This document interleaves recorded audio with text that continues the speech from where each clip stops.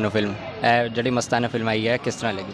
ਇਹ ਫਿਲਮ ਜਿਹੜੀ ਹੈਗੀ ਹੈ, ਉਹ ਸਿੱਖੀ ਦੇ ਇਤਿਹਾਸ ਨੂੰ ਦਰਸਾਉਂਦੀ ਹੋਈ ਫਿਲਮ ਹੈ, ਜਿਹਦੇ ਵਿੱਚ ਸਿੱਖੀ ਦੇ ਬਾਣੇ ਤੇ ਨਾਲ ਅਰਦਾਸ।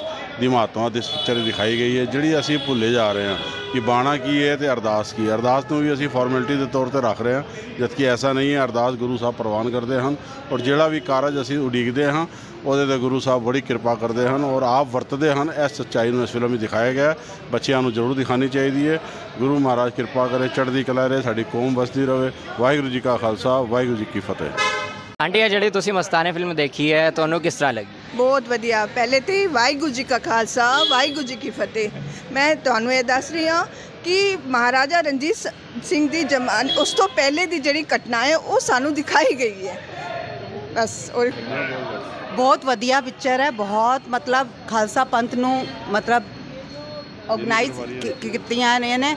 ਬੜੀ ਕੁਰਬਾਨੀਆਂ ਗ- ਸਾਡੀ ਗੁਰਸਿੱਖੀ ਨੇ ਦਿੱਤੀ ਹੈ।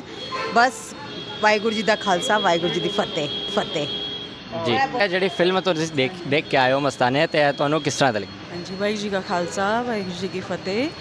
ਪਿਕਚਰ ਮਸਟ ਵਾਚ ਇੱਕ ਟਾਈਮ ਦੀ ਜ਼ਰੂਰ ਦੇਖਣੀ ਚਾਹੀਦੀ ਹੈ ਅੱਜ ਤੇ ਇਤਿਹਾਸ ਇਤਿਹਾਸ ਹੀ, ਅੱਜ ਕੱਲ੍ਹ ਦੇ ਜੋ ਪੰਜਾਬੀ ਪਿਕਚਰ ਬਣੀ ਹੈ ਹਾਲੇ ਤੱਕ ਜੋ ਦੇਖਿਆ ਨੇ, ਸਿਰਫ ਐਂਟਰਟੇਨਿੰਗ ਹਲਕੀ ਫੁਲਕੀ ਮੂਵੀਆਂ ਨੇ, ਲੇਕਿਨ ਇਹ ਬੜੀ ਵੱਡੀ ਬਜਟ ਦੀ ਪਿਕਚਰ ਔਰ ਇਹਨੂੰ ਵਾਕਈ ਰਿਅਲਾਈਜ਼ ਕੀਤਾ ਐਵੇਂ ਲੱਗਿਆ ਕਿ ਅਸੀਂ ਉਸ ਜ਼ਮਾਨੇ ਦੇ ਚਲੇ ਗਏ ਹਾਂ ਮੁਗਲਾਂ ਦੇ ਜ਼ਮਾਨੇ ਦੇ ਚਲੇ ਗਏ ਹਾਂ ਜੋ ਉਹਨਾਂ ਦੇ ਮਹਿਸੂਸ ਕੀਤਾ ਬਿਲਕੁਲ ਰੀਅਲ ਸਟੋਰੀ ਹੈ ਔਰ ਵਾਕਈ ਇੱਕ ਜਾਂਬਾਜ਼ੀ ਦੀ ਪਿਕਚਰ ਹੈ ਹਰ ਇੱਕ ਬੱਚੇ ਨੂੰ ਔਰ ਸਭ ਨੂੰ ਜ਼ਰੂਰ ਦੇਖਣੀ ਚਾਹੀਦੀ ਹੈ ਪਿਕਚਰ ਤੁਹਾਨੂੰ ਸਭ ਤੋਂ ਵਧੀਆ ਐਕਟਿੰਗ ਕਿੰਨਾ ਦੀ ਲੱਗੀ?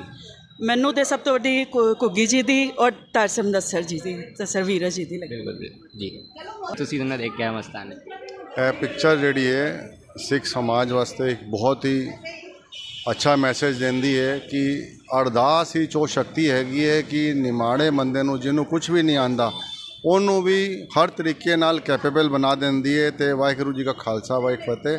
ਅਰਦਾਸ ਜ਼ਰੂਰ ਕਰੋ ਔਰ ਭਰੋਸਾ ਰੱਖ ਕੇ ਕਰੋ ਕਿ ਵਾਹਿਗੁਰੂ ਸਾਡੀ ਸਾਰੀ ਜਿਹੜੀ ਹੈ ਮੈਸੇਜ ਦਿੰਦੀ ਹੈ ਕਿ ਸਾਡੀ ਸਾਰੀਆਂ ਮਨੋਕਾਮਨਾ ਪੂਰੀ ਹੋਣਗੀਆਂ ਵਾਹਿਗੁਰੂ ਜੀ ਕਾ ਖਾਲਸਾ, ਵਾਹਿਗੁਰੂ ਜੀ ਕੀ ਫਤਿਹ।